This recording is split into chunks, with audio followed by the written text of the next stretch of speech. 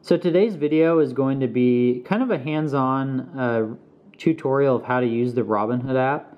Um, I've been using this app for a little over a year now and um, I'll kind of go through the menus and just kind of show you guys around the app. So this first number here is the amount of money uh, currently that your stocks are worth.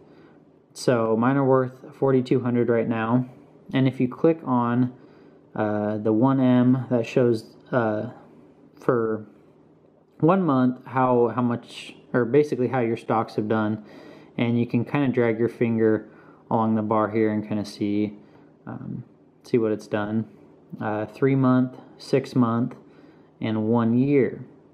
So um, and for some reason Robinhood hasn't activated the all button so you can't see what your stocks have done all time because I've had my uh, my stocks for longer than a year so I'm not sure why I can't press that button but um, right underneath that, it shows, uh, you can kind of see some articles right here. Um, or basically just, um, you know, tells you information about your stocks, usually, um, and just kind of what's going on in the market. Uh, right underneath that, it shows what shares you have purchased.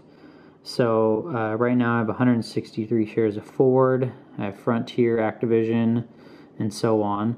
Um, these three are my top three. And if you click, you can actually move them to where you want them. So I have my top three up at the top because I have the most uh, shares in them. Um, you can put uh, stocks that you're just kind of looking at up there. So if I wanted to move uh, this one up there, I could.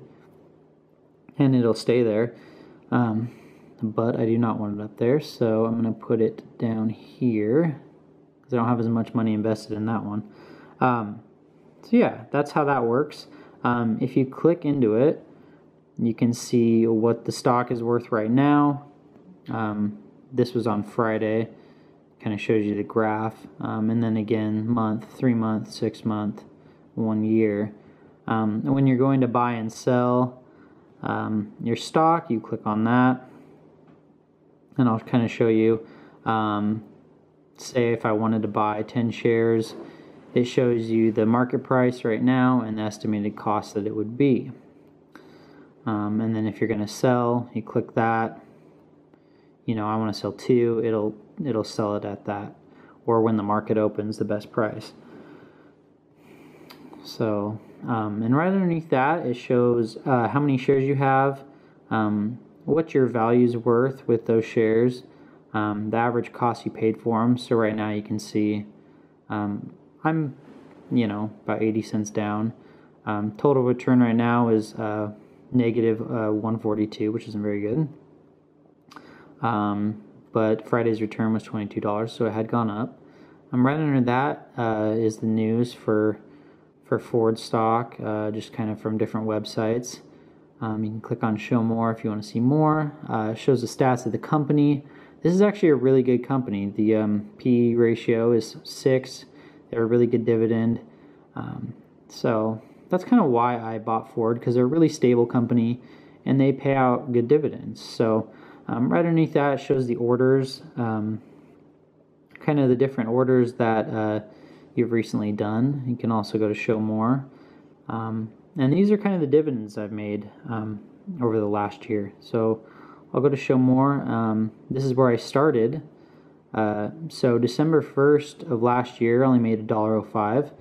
Um, that's because I only had seven shares. So um, Ford's been consistently paying out about 15 cents a share. And right now, since I have, um, well, since I had 160, um, you know, I've made a lot more money. So I had 160 there. Now I have 163. So I'll probably earn a little bit more next time they pay out a dividend. But um, and then um, each uh, stock uh, shows or kind of tells you about the company, so you can read that. And um, your portfolio portfolio diversity basically means um, how much money you have in this stock, um, how much your total portfolio is uh, is from the stock. So I basically half my portfolio is in Ford right now. Um, so yeah, and then going out of that, um, that's basically it for that. Um, if you scroll down, you can see a watch list of kind of stocks that you're maybe considering buying or um, maybe have bought in the past and just kind of looking at, uh, you know, kind of how they're growing. So Groupon, I used to have uh, quite a bit invested in Groupon, um, but their stock is very up and down right now, and so I kind of did away with them. But um, I always look at UPS. My dad has quite a bit of stock in UPS, and you can kind of see UPS has taken off uh, this last year, um, which is really cool. I don't have the type of money to invest in UPS right now, but um, so anyways, there's the main screen. It has a lot of information on it, um, lots of different things. Uh, so if you go into search, you can search for stocks. So uh, say if you want Best Buy, um, type in Best, Best Buy is right there. And then you can see, you know, what Best Buy has done. Best Buy looks like it's doing very well. so, um, wow. And I was actually thinking about buying Best Buy right around here and didn't. So, hmm, yeah. That'd be a good stock to invest in. Um, maybe not now. Um, but so this this button right here um, is kind of uh, information for you. Um, shows your portfolio value, which is on that screen anyways. So you can go like this to get to it, or you can click on that. Um, shows your buying power, which is basically how much money you have in the bank to spend on stocks. Um, I only have $2.42 right now, which is not very much. But um, yeah, Robinhood Instant, uh, this is a new um, update that they've had. I haven't really looked into that yet. Um, your account uh, basically shows your tax documents. Um, you can go in there, account statements, what you've bought. In. Um, yeah, this shows your stocks plus cash, basically how much value you have, buying power. It's going to be the same as the cash.